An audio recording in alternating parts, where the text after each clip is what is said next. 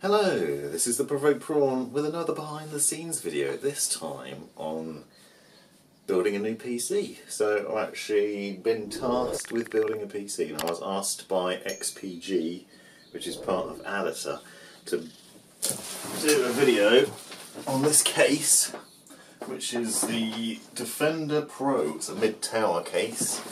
And so, obviously, if you're going to do a video on a case, the best thing to do is to build a PC in it. So I have a number of other parts from them, which includes some Spectrix DG60 RAM,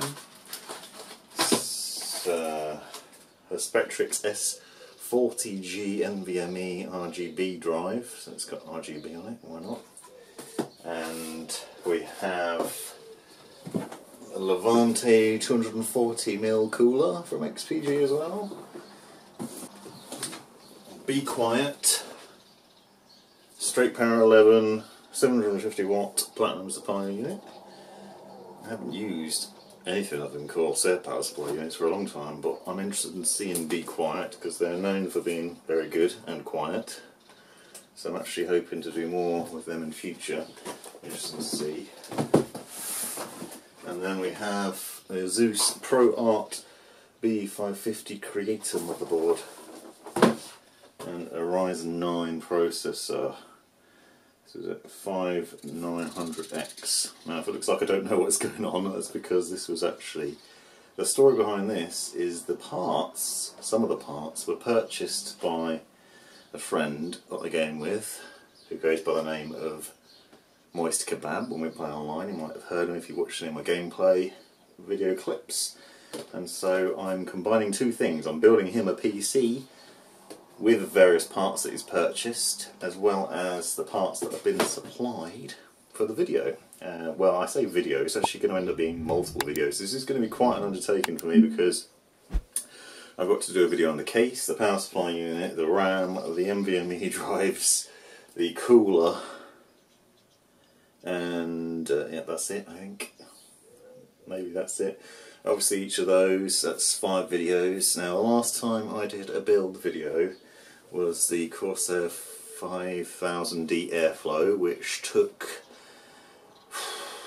maybe two days to put together. I don't mean solid days, but a lot of hours, probably about eight hours I'd say, to build, which sounds like a long time to build a PC, but that is mostly because I'm also capturing footage while doing it, and I'm going to show you that now because people probably don't realise the effort that goes into a build video.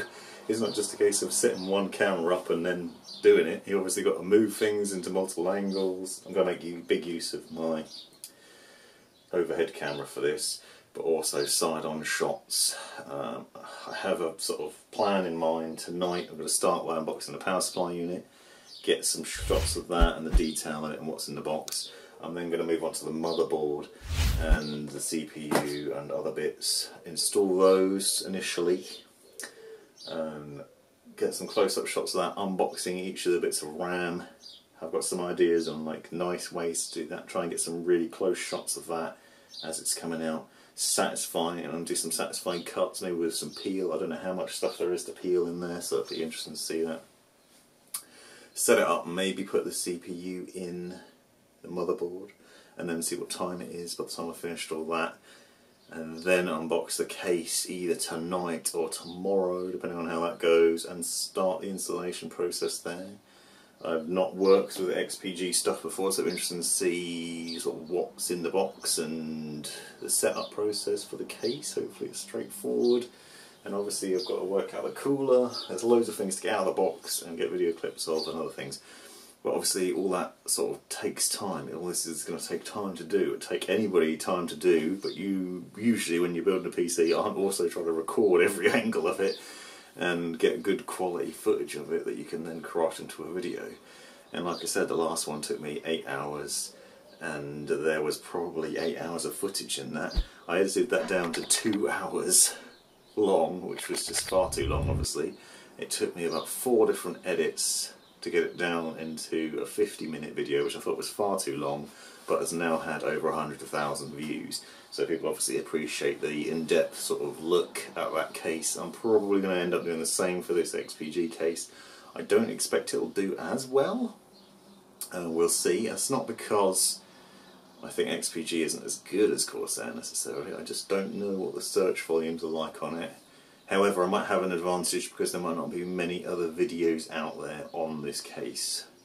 Uh, because it's a lesser known brand or at least not as big as Corsair and therefore probably not as purchased and not as searched and probably not as created in terms of content by other people. So I'm hoping they might do well. Uh, it's one of those things that's just going to be a case of try and see. But because I'm going to hit multiple different videos with it, obviously I'm going to do a video on the case, a video on the power supply unit, a video on the cooler, a video on the RAM, a video on the uh, NVMe drive, the setup of that, benchmarks of it, showing it off, unboxing, because unboxing an NVMe drive is fairly straightforward, right? You just take it out of the box, there it is, and the process of installation.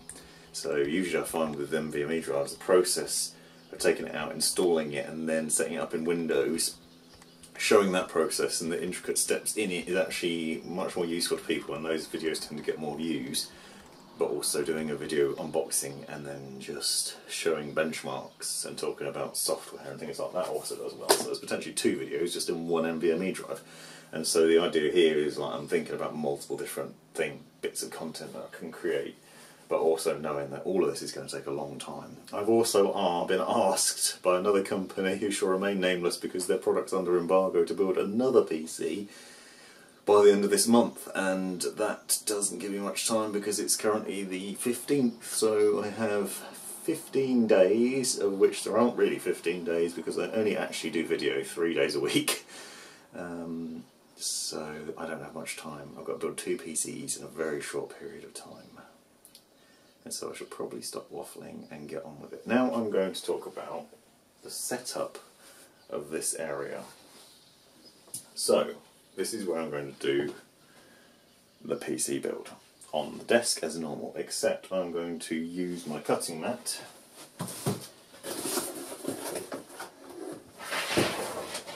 which I've shown before, because obviously there's potential for scratching a very expensive wooden desk surface with various bits of metal and other things, and that would be a disaster. And so I'm going to move things out of the way and pop this on. Another point that might be interesting is down here, down there, you'll see there's a mat. This isn't actually any normal mat, this is a very special mat that is actually plugged into the wall via this cable and that what that does is it earths it. That is an anti-static mat which helps disperse static electricity. Now historically I'd used a wrist strap that plugs into a wall or attaches to a radiator or an exposed metal pipe that then gets the static out of your body and stops you frying important electronics that are going to cost money. However, having a strap on your arm while trying to do things, including recording video, is a pain. So what I do, I mean there are two options with this mat, you either put it on the desk and you have your hands on it, or what I tend to do is I take my socks off and I stand barefoot on it, so my feet are always on the anti-static mat, so there's always the flow through and the pass through and the earthing of my body. And that also means that no straps are in the video, so it's cleaner and it looks nicer. Some might say there's no point in anti-static mats nowadays or straps, however I disagree with that. Linus Tech Tips did an interesting video on static, which I'll try and link to if I remember, that's worth watching. Uh, it's interesting. But basically, any static electricity you build up in your body could accidentally fry parts, and these parts don't belong to me, so I don't want to destroy them. I don't want to have to buy a new CPU for my friend because I accidentally fried it. I don't know how much this cost. I imagine it wasn't cheap. Other points of interest is, is the first time I've done an AMD build for a very long time, probably like 10 years or something. Like it's been an incredible long time. I've been using Intel for a long old time now, and so this is going to be different. It shouldn't be too complicated because you know CPU is usually the same installation. The only difference will probably be with the AIO setup. Interest. So next part is going to be power supply unit. I want to start with that. Might seem like the most boring thing to start with.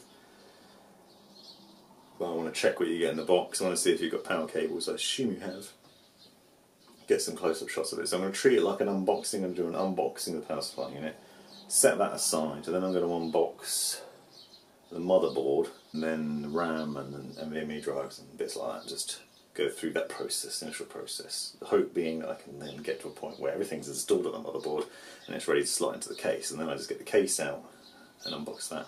One of the biggest problems with doing this sort of video is negotiating your way around the cameras. So I've got the, this camera here, for example, while also keeping your feet on the mat. It becomes a bigger problem when you're dealing with the case and you've got to move around it a bit more. But it is a nice big mat. I can basically stand on it shoulder width apart and have my feet on most of it at all times. So that's obviously beneficial. As I said, unboxing this to start with, get it into a nice position, get it out of the box, then get the usual sort of close-up shots of it, and hopefully show it off in various angles that'll be satisfying. One of the interesting challenges from this is this reflective surface picks up the light but also the camera. So in the viewfinder on here you can actually see the mic and the boom arm.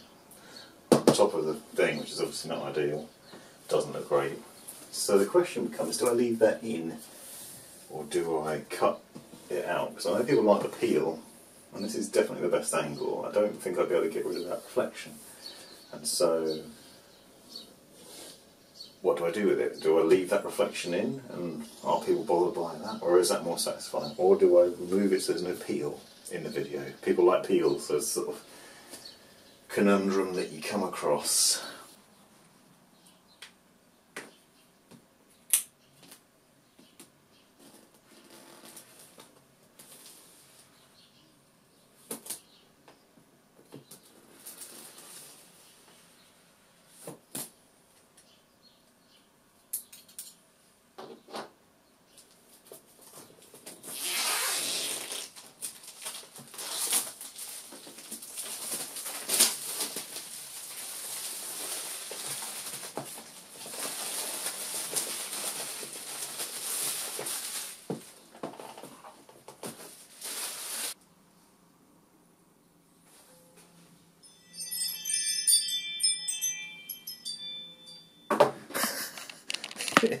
this is annoying. that noise happens a lot. My cousin has just walked past the house and set off my ring doorbell alarm, which has then gone off on my phone in the middle of capturing a video, and that's the second time that's happened today. This is first world problems, I tell you. I try and make ASMR videos that are perfectly quiet, and then you have stupid stuff like that. I should really snooze my phone or maybe even turn it off. In fact, I'll never turn it off because that has happened repeatedly today and it is very annoying. Another challenge of making stuff and living in the UK is this sort of thing. European and American plugs being provided with products. A number of adapters that I have to buy. Luckily I have a power cable because I've got loads of kettle power cables around for power supply units and stuff, but oh my god, so annoying. British plugs please, thank you. Something to be aware of though, something that I can include in the video. I have however got a pretty nice shot from here, which I'll show you in a B-roll clip but it's basically all the products lined up on the mat and from above and it should look really good for a photo.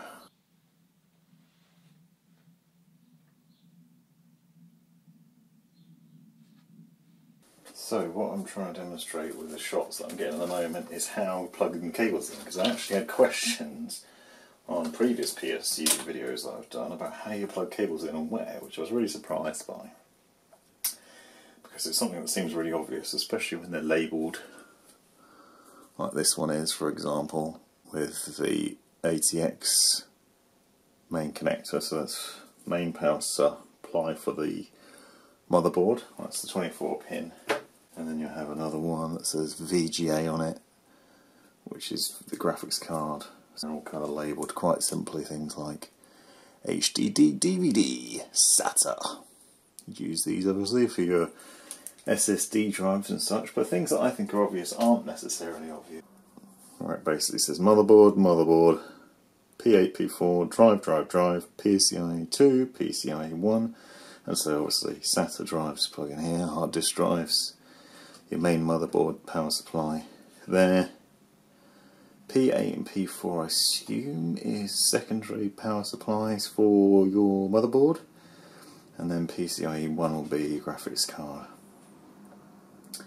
And 2 is it's not got a lot of outputs on it. Like not like the Corsair 850X which I've done previously. Or M850X there's a lot more connection options on it so I need to check this will suit the motherboard okay should do, should be fine. And we haven't got a great deal of drives to install. I'm not doing SATA or hard disk drives on this.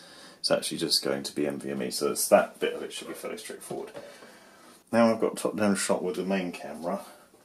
I had a little bit of plugging it in, but I'm going to get some close-up shots of it as well. I'm going to do some close-up panning shots of it with my main tripod camera, but also focus on these bits and sort of show where you plug the cables in, and then I can show where they go on the other end I think it's really difficult to sort of show how this will be set up. Obviously I don't have SATA to connect to this PC that I'm setting up, so it'll be really difficult to show that. I don't even have a spare NVMe drive floating around or anything that I could connect up. I don't even have a spare 2.5 inch drive that I can connect up to it. So I took something out of my PC, which I really don't want to do. Um, so maybe I'll just talk about it and demonstrate how you plug the cables in.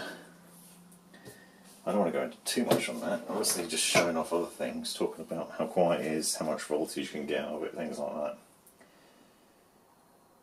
And then I've got a mess of cables to deal with. You see, just messy. And now I'm trying to make what is essentially a very boring product. Not that Be Quiet's power supply it's not good, just that it's a power supply unit. How do you make that interesting?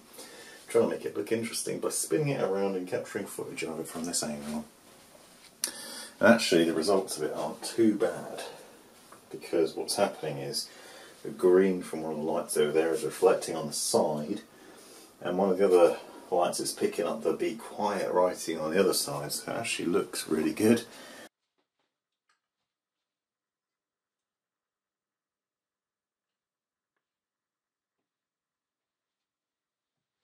So it should be a nice sort of intro clip into the video. Here's the Be Quiet power supply unit. Now I'm thinking that actually as well, a good shot will be from the top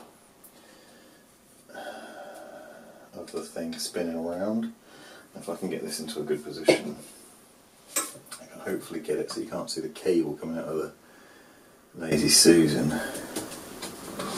Which might require a little bit more repositioning.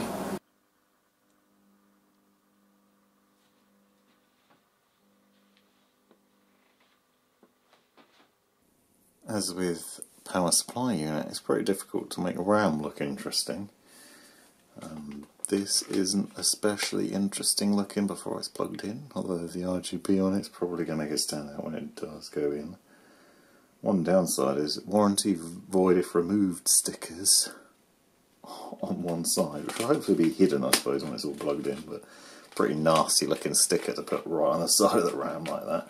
I don't know where else they'd put it, but not really a fan of that. Interesting looking though, kind of a sun-like logo and well, yeah. And now I'm at the stage of unboxing this bad boy, fitting all the RAM and the NVMe drive, probably the CPU. And then just repositioning things, putting it back in the box, tucking it out of the way and getting a start on the case. I'm making pretty good progress. What i try and do is get, maybe I'll keep this one top down angle and move the other camera over to this side with the hope that the RAM will sit in and you'll see everything. I might try and slot it in and get any peel off from one side and try and make it look nice. I don't know what the motherboard looks like at this stage. I don't want to spoil the experience. Just unboxed it for unboxing it. There's no label to keep it in place. Oh, shock.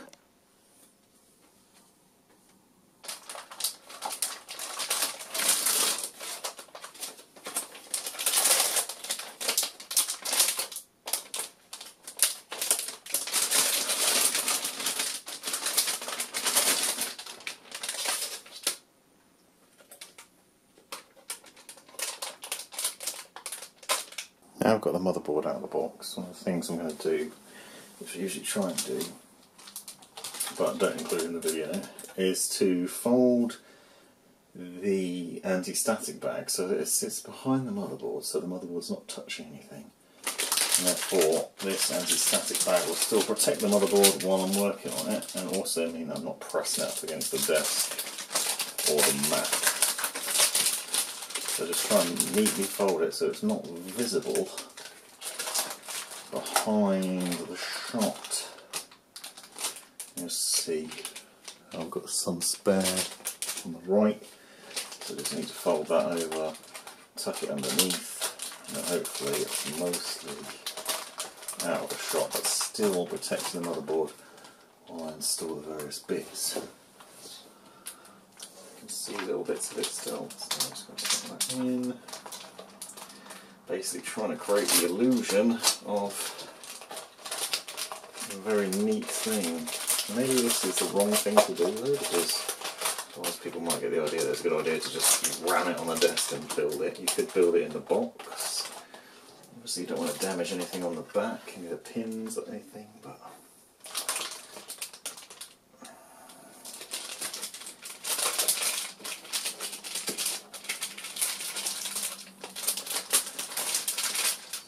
a with the folding. It doesn't need to cover the entire thing. Pretty sure there won't be any static off this mat anything that does generate should disappear through me anyway. There we go.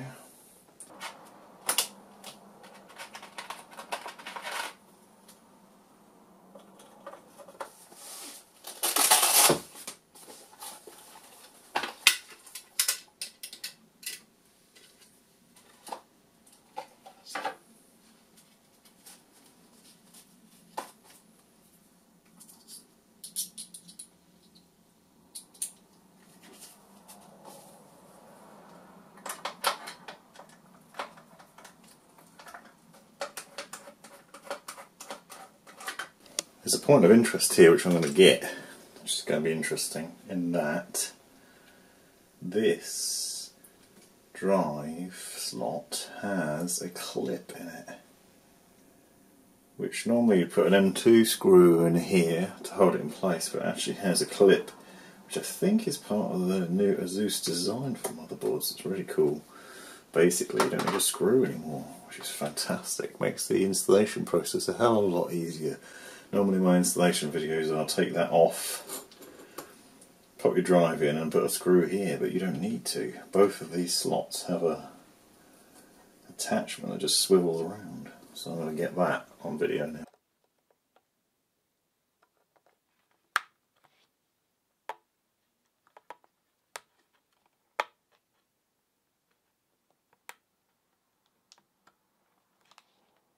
Here's an interesting insight into the challenges of trying to get multi-angle.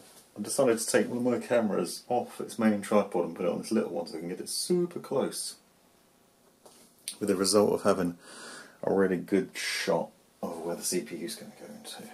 But that means that the top-down camera, when I put it into the usual position, now has a big microphone in the way of it. Now I could take that microphone off but I think what I'm going to try and do is change the lens and get this camera into a different angle. So take the wide angle lens off so hopefully I can focus in from two different angles on where the CPU is going to be installed. Now this isn't actually a central part of the build because actually the build that I'm intending to do is more about the case and the NVMe and the SSD, mini NVMe and the RAM it's not about the motherboard, I'm not going to bother doing a video on the motherboard, I haven't got time. It's not really a gamery one, it's more of a creator one. I mean, it, shots of it going to get included, but I'm not going to do a video on it.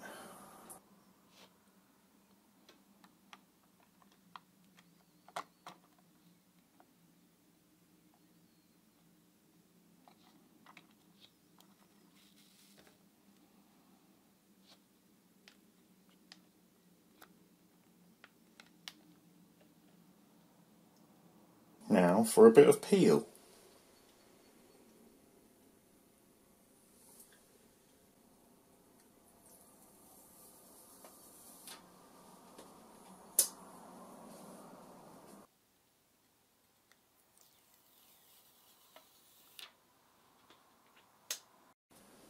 So now I've got the motherboard into a state of preparation. CPU's installed, RAM, NVMe drive, everything's ready to go basically. Uh, I'm just going to put it back in its bag temporarily and put it back in its box out of the way so I can unbox the case. This is actually going a lot smoother than I thought it would. It's taken me about two hours so far. It's 10pm. So I've got an hour to unbox the case and do an analysis of that. I might have time to install maybe the power supply unit. I need to suss out the case and look at all the intricacies of that because it could get a bit more complicated then. I think the most complicated bit is probably going to be the CPU cooler because I've not done an AMD CPU cooler for a long, long time, so I don't know what the complexities of installing that is. We'll find out in a minute. But I'm going to rebag this. It won't fit perfectly back in its bag, obviously, because now it's got RAM jutting out of it. But hopefully it'll work enough that I can keep it safe while I work on the rest of it. I might actually fit back in here. This big enough to cover over the ports. So, a bit tricky. Hmm.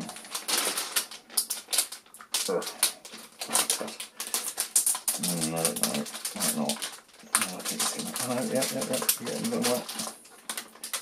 Maybe this is a bit too tight actually. Maybe I'll just sit it on there to the side for now. Okay, so with a little bit of convincing I have managed to get it back in here. This is obviously preferable because it keeps the CPU dust free and such and protected while I go about the next part which is going to be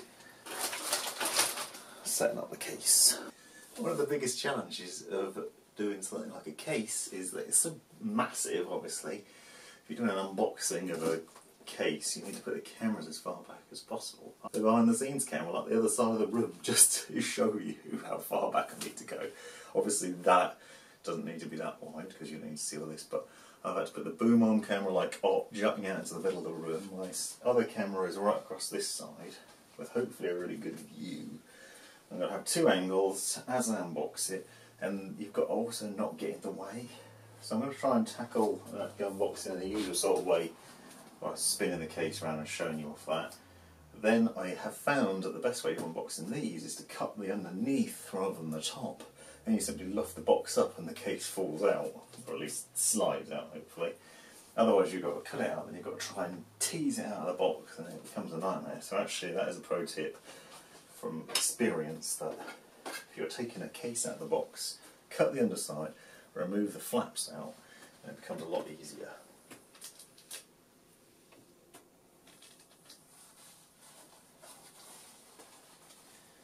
So now we're going to start. We've got a pretty nice angle from both sides. This is the first time I've jutted out the boom arm this far, so it's pretty cool that we can do this.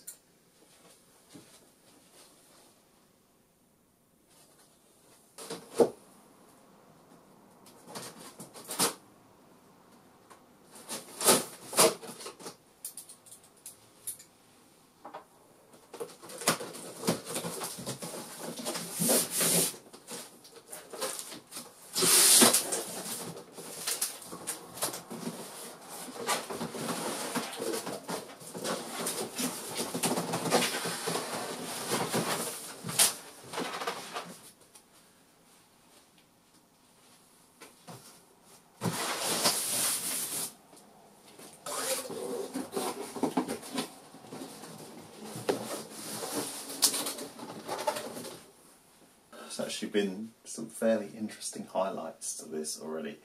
One of the things I like about doing these videos or having these experiences with unboxing things is the journey of discovery. So though I knew a rough bit about this case before I got it, there's nothing like the experience of actually getting it out of the box and sort of weighing up and weighing up what's inside and what the setup's like and all the other sort of aspects of it. So for example there's a few different things I've already picked up on when getting this out of the box which are interesting and may present a problem or are curious. For one it's quite lightweight, very light, except there's this front panel here which has quite a large mesh on it and also it's like metal on the front and then plastic mesh on the inside. It's held on with magnets, so it snaps on really easily to the front. Got it the right way up, uh, like so. But actually, this thing like weighs. It feels like it weighs a good portion of what the overall weight of the case is, so it's actually quite heavy, which is a point of interest. The other point of curiosity is there's a dust cover inside, so you essentially have two dust covers because that front outer one has this mesh shielding on it, so that will stop some dust ingress. And then you've also got extra dust shielding here, but I initially tried to get it off by just pulling it off, assuming it would be held on with magnets, but actually when you look on the inside it's held on with clips, so you've got to pull this bit forward and then lift the thing up. I've just thrown it across the room.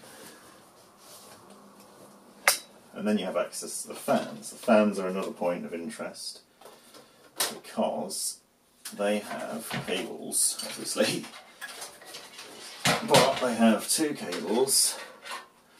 They are RGB fans, so power, fair enough, and also RGB, but there's actually four connectors rather than just two, which is what you normally experience on something like the NZXT's RGB fans or Corsairs. And so I'm now questioning how the hell that works, although it looks like one of them's female and the other one's male. You see that? Maybe you can see that there. If not, you'll see it in the proper video. I've now got to get footage of all these and obviously the installation process for doing it. I'm wondering whether they daisy chain together. Like the power connector goes from one fan to the next. If they do, then this will be a lot easier. I'm also going to move this fan from the rear and put it on the front because there's a gap here there's one missing. And I think personally that three RGB fans on the front looks nicer. Also means intake of air. You could argue that perhaps that bottom fan isn't necessary because the air going in there just will hit the bottom. If you had hard drives in, they'll be in that drive tray, so that cool them down. Um, you could take that out. We could take that out so we've got air for the PSU I need to look at that. I need to get clips of that. I need to get clips of me removing that and installing it on the front. I need to show off the standoffs. There's multiple standoffs are pre-installed. Hopefully they're all in the right position. I want to show the cabling for the front panel connections. There's quite a lot of cables here. Inside here is a box full of other stuff. So it looks like a fairly good setup on this case, I'll be honest, so far from what I've seen. Pretty standard, looks reasonably solidly built, nice sort of design to it. You've got plenty of fan areas. These dust covers are going to be really good for keeping the dirt out and you can take it off and clean it. I really like that. There's also one on the underside which is easy to access. There's a daddy longlegs buzzing on my light. And um, some interesting cable management sections. So yeah, I think the biggest challenge is going to be these fans, but I have a feeling they're daisy chain. I need to read the manual. I think that's actually going to be really interesting. But if all on the front, no, I should be able to connect them up really easily, and then the question becomes where do you plug them in? Obviously, one of these is power. I haven't seen a control box, but maybe there's one inside the box. Or maybe they connect to the there's a connection here that looks like similar, so maybe they connect to the front. I need to read the manual, clearly. This is why you have to read the manuals, but all points of interest that are going to be fun, challenging to look at. Also, another thing that I had with Corsair's case when I reviewed that was there wasn't enough space for the power supply unit when the front thing was in. Uh, it looks like there might be more space here than there was. It's going to depend on the PSU, so that might be a potential area that I'll hit a problem with at some point. So I'm going to get pan shots of all of this and all the bits that I've just talked about, and then I can obviously cover all that off, and then I'm going to hopefully. And it's actually 20 to 11 now, so I haven't got much time left, but I'm going to maybe install the PSU. I don't want to spend too much time on it. I can start again tomorrow night. I'm old and I don't want to stay up past 11 on a weekday. So I've had a look and I think my biggest challenge with this case is actually going to be the fans because there's a multitude of RGB cables coming out of here, and there's no instructions on how to plug them in. The instruction manual doesn't seem to have any instructions on it. And I'm not sure whether it's a daisy chain system that you can just plug in. So what I've established, what I've worked out from this, is that there's, it looks like, there's an RGB strip here and here, and then you have RGB on the fans as well. But those, there's power cables running from this front panel, which includes, means cables running from this front panel, which includes a mess of RGB cables. You've got two, and then you've got some that are plugged into each other, and I don't know if these are daisy chaining, I mean it looks like they are, but there's a spare one, and it's just a nightmare. The rest of the thing should be fairly straightforward. There's another RGB cable there, so it's just ridiculous amounts. We've got USB, front panel audio, uh, power supply switches, and a SATA power cable, so they're not tricky, those ones, but it's like, I mean there's one, two, three, four RGB ends. I mean, and there's only two uh, RGB strips from what I can see, so I don't understand where the hell they're going unless they connect to the fans. Which they might do. Even one of them's got to go onto the motherboard as well. There's no controller of any mention in here, so this is going to be fun to work out.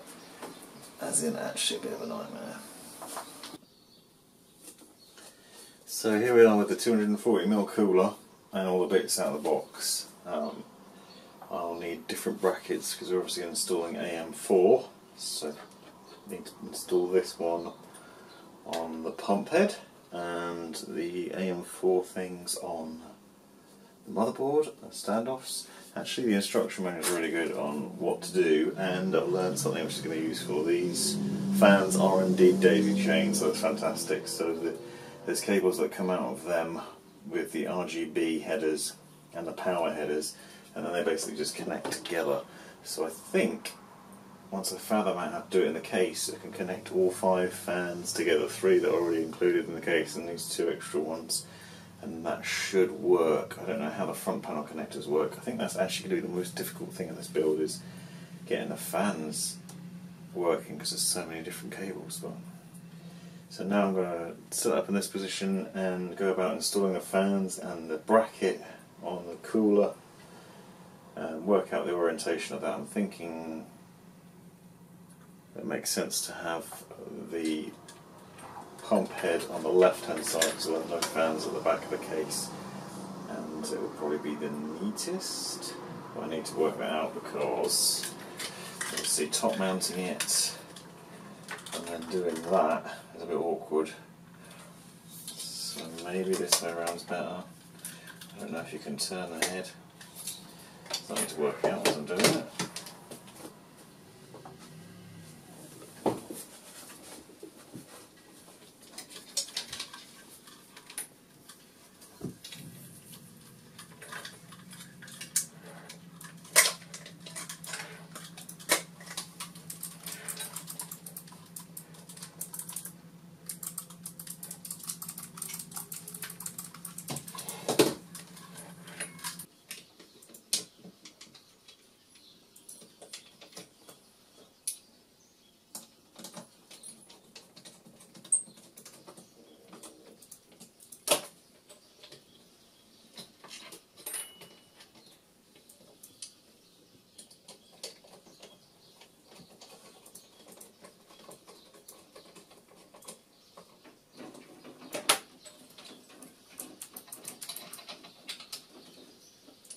So here's a curious dilemma with this part of the build process. I am obviously about to install the AIO.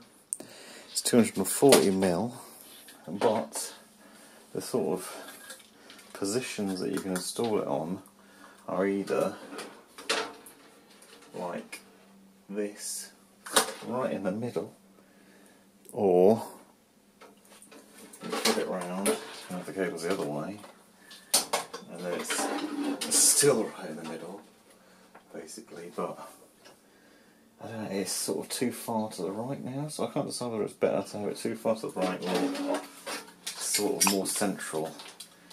I think the, the pump tubes would be more out of the way on this side and possibly less obnoxious, but then they might get in the way of that back plate, which is quite a nice looking sort of section of the thingy. However, if they're this way, they won't block the RGB RAM, so that's probably the way I'm going to go.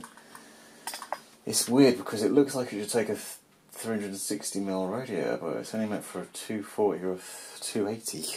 Very strange design in that way. And now I'm going to try and capture that problem with two different cameras from two different angles. It'll get the installation from above because obviously the screws are going to go in there, but also demonstrating where it's going to sit from below because people might question why I've not put it further back. Because in an ideal world, you'd put it further back here, but the rungs for the screw mounts are in the wrong place.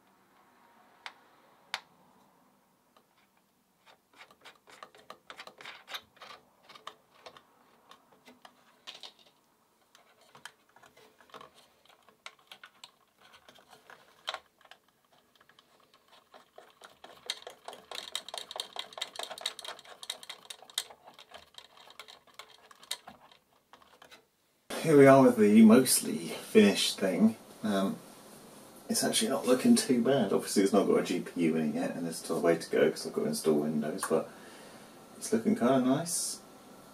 Uh, everything's working, or at least it's turned on. That's as far as I know. Beyond that, I don't know whether it's actually posting anything yet. Um, but it hasn't turned itself off or anything repeatedly like that, which is usually a good sign. The biggest challenge was was the fans, although it actually has worked first time by looks of it. I don't know about the sequence of it, but basically I connected up these two fans, both in terms of power and RGB, and the pump head. And the instructions are not clear, but I decided that I was going to plug the CPU, these fans into the CPU header and the pump into the pump header, which I'm not sure is the best course of action, but it's working currently now. And then these fans are daisy chained together and then connected. There's also some front RGB at the front here and at the bottom, which I need to capture. That was complicated, and there's also some cables left over I have no clue what you're meant to do with them. I'm wondering whether they're spare for extra, like LED um, strips or something, but there's no instructions in the case that help with that. it's stupid and annoying, really. But yeah, it's going, so it's bonus. It's taken nearly another three hours and I'm not quite finished. I need some sort of final shots of this. The back needs tidying up. That's a mess back there.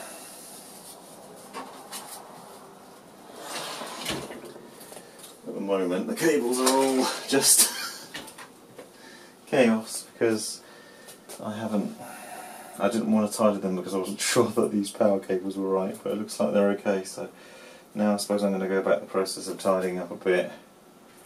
Not too extreme because I'm probably going to take this apart again in a week, but I'll try and make it a bit neat, neater and then maybe put the GPU in and get some pictures of that and some video. And here I am at the end of the build process, and things actually went a lot smoother than I thought they were going to, to be honest. The end result came out really nice, and also the case looks really good. But there are a couple of points to talk about. You'll notice, for example, that the graphics card is set really low in the case. I actually had to use the second PCIe slot on it, and that is because, for some reason, the thumb screws on the standard mounts at the rear just wouldn't come off. And I've tried pliers, uh, screwdrivers, aggressive force, but those top two just wouldn't come off. Now, I'll talk in a bit more depth about that in the main video, of course, because I think it's important. But overall, the case was really nice to build. The fans seemed quite intimidating with four cables each, but it was a daisy chain setup. And actually, once you work that out and put them all together, they come out really nice. It also has obviously the highlights of things like the RGB lighting on the front some quite nice aesthetics overall, and the result is pretty good. Obviously, there are a number of highlights that you'd get in more expensive, well-known cases. Uh, some nice cable channeling, visuals for the PSU at the bottom. Uh, just overall, really nice aesthetic. Seems like it'll have great airflow as well. I've done some benchmarks that I can use in the main video. So this is the end result and a couple of samples of that. So if you want to see how it came out and a bit more in-depth look at it, then please be sure to check out the full unboxing and setup video. Thanks for watching this behind the scenes. Hope you enjoyed it. Let me know in the comments if you've got any questions. Have a great life.